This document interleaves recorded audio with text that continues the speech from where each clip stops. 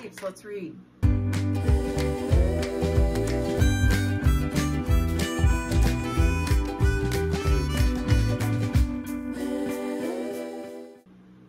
This was written by Amazing Facts. They give a little bit of fact and correlate it with biblical information. The verse for today is Matthew 18, 14.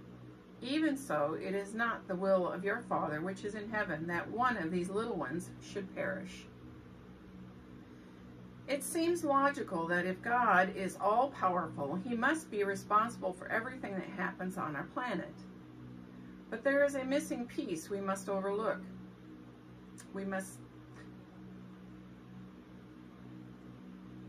It seems logical that if God is all powerful, he must be responsible for everything that happens on our planet. But there is a missing piece we must not overlook. Both good and evil exist in our world. There are flowers and thorns, fresh air and pollution, love and hatred. Why? The devil was once Lucifer, a being who stood by the throne of God. He became so jealous and began to spread rumors that God was selfish, controlling, and unjust. The accusations grew until Satan and a third of the angels were cast out of heaven. And they were cast to the earth. You can find that in Revelation 12, 7 and 9. Instead of immediately destroying the devil and creating confusion and fear in the hearts of all the other beings, the Lord allowed Satan to play out his idea before the watching universe. After Adam and Eve sinned, the world began to change. You can look that up in Genesis 3:17. The enemy was permitted to touch our planet and bring destruction through earthquakes, tornadoes, fires, and floods. As we come closer to the end of time, Jesus predicted these types of events will increase. You can find that in Matthew 24, 8. But God has not abandoned his people.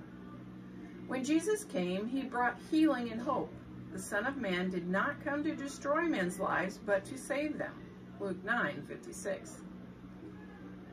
To questioning and blaming people, he once said, Many good works I have shown you from my Father. For which of those good works do you stone me?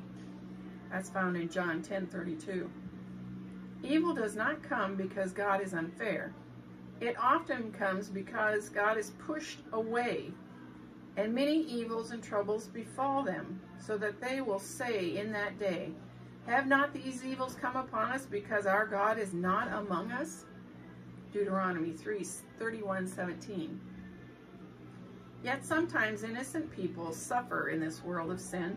Calamity does not always come to sinful people. Jesus more than once corrected that false teaching in Luke 13, 1 to 5. Catastrophes will not last forever. Christ promises to come and put an end to all calamities. I I thought that was a good reading because I've heard so many people say, you know, that hurricane hit there because God was ticked off at somebody or they were bad people or, you know, just any number of things. But it's not God who's doing that.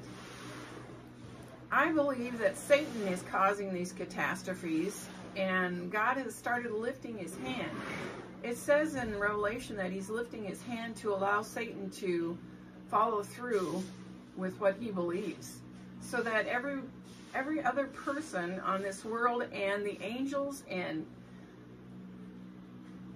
everybody will know that he's evil it isn't god that's doing it it's satan keep that in mind in case you wanted to know uh, got my book peeps Good morning, Heavenly Father. I'm so grateful that you are there for us and that you watch over us and put your protection on us. I'm lifting up my peeps, Lord, the ones in the book and the ones that aren't in the book. Please wrap your love around them and help them to understand the catastrophes that happen. All this I pray in Jesus' name. Amen. That's it, peeps. I hope this finds you absolutely amazing. Stay blessed. Until next time. Hey, you made it to the end please hit like and subscribe and thanks for watching.